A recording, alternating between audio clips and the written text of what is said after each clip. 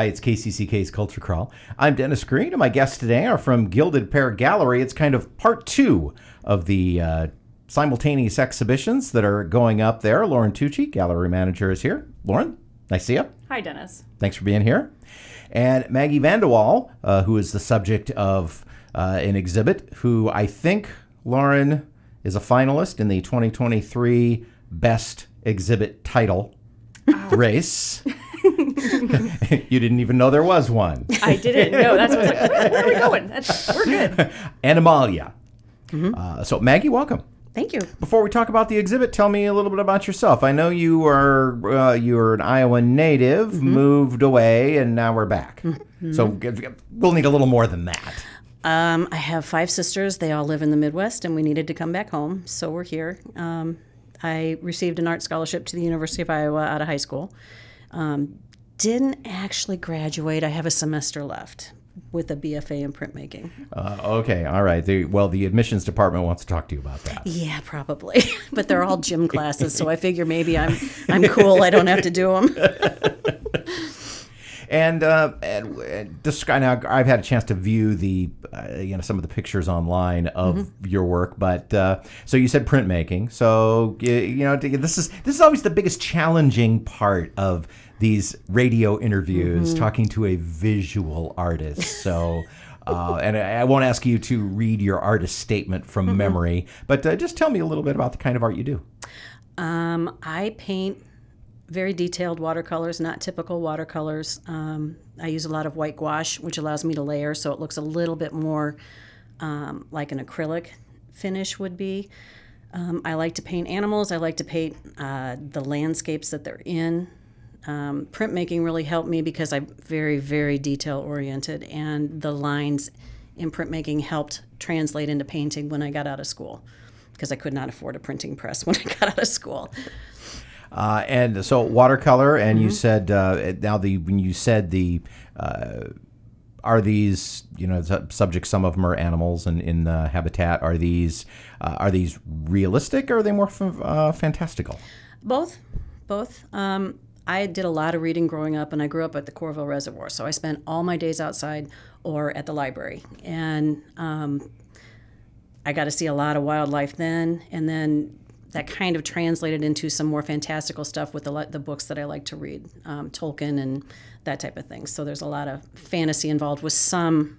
I mean, there really are drunk bees, so that is a thing. So I can paint those, and then I paint something called a batty cat, which has been fairly popular. It's just a black cat with wings, bat wings. Oh, well, okay. Black cat with wings.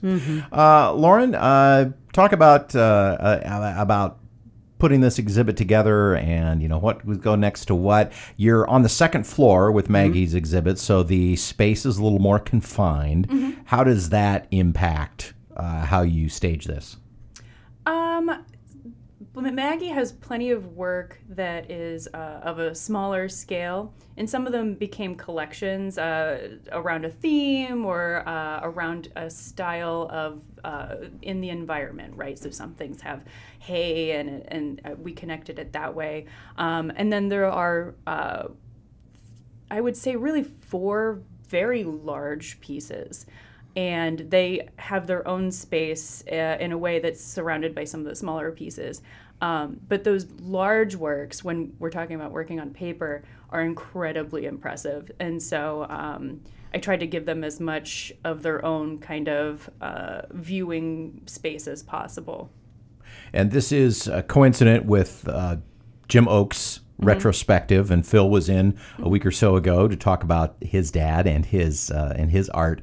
Uh, is this more of a timing thing in terms of uh, these both came available at the same time, or is there a higher purpose in having them at the same time? It's interesting because um, Maggie came to us uh, not too long ago. So this is her introduction show, um, as and we're celebrating, uh, you know, Jim's work, and uh, you know we're, we've lost a friend, and so it's kind of a, in a way, a hello goodbye, um, but really the work itself kind of paired together interestingly. When we took uh, took in the work uh, of Jim's a while back, uh, we discovered there's this whole section of very fantastical pieces early in his career that people may not have ever seen. And so that's a little bit of that connection there too. Maggie's got a background in printmaking, so the artists themselves are distantly talking to each other, but they're very different work. So that's kind of how this all came about. And we know that Maggie's Batty cats are popular, and so we're kind of in the fall season and you know leading into that. So there was a little bit of that too. And talking about good titles, uh, Cats—first time that word has appeared on the Culture Crawl. so this is this is this is a big day. um, Maggie, uh, do you have, you uh, have you had a chance to kind of look at both? Uh, you know, look at uh, Jim's work as well as your own, and kind of see them all in the space. Do you what?